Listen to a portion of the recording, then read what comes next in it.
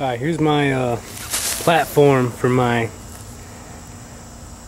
I think I'm going to start off maybe making a 16 brick rocket stove and I don't know maybe if I have uh, by the time I might just make a uh, I believe it's a 22 and essentially you just make the chimney a little bit longer but I have uh, let's see 16 20 24 bricks. So I, I think it's a 22 brick rocket stove. Um, but what you need to do when you get started is you do need a to have a half a brick. So I found all these. These are all salvage bricks.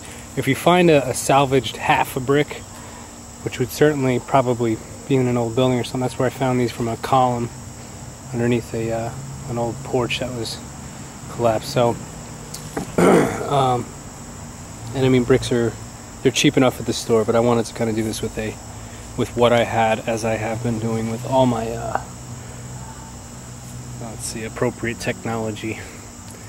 Uh, so anyway um, let's see. Did two patio blocks for uh, a platform. I'm gonna use this brick because it's chipped in the end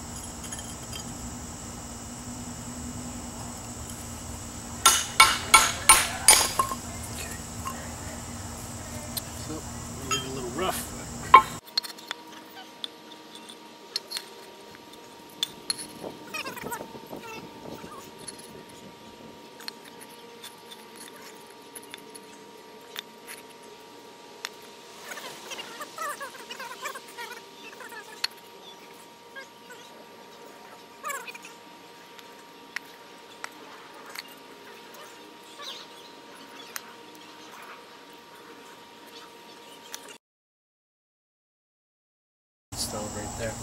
I have more bricks.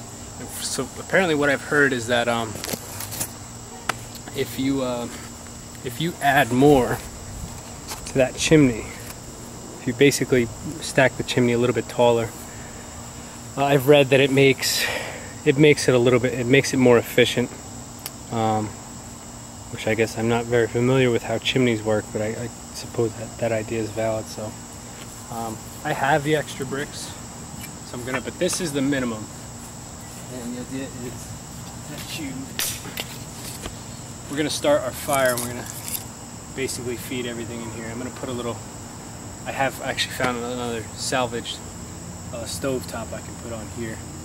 I'm gonna see if I can't fry an egg with this simple design. So we are going to be burning wood, uh, which is a renewable resource, but um, unfortunately does create uh, pollutants and carbon dioxide, um, mainly carbon dioxide, depending on how cleanly it's burned. If it, the hotter the burn, the less pollutants. But um, you're gonna have carbon dioxide either way.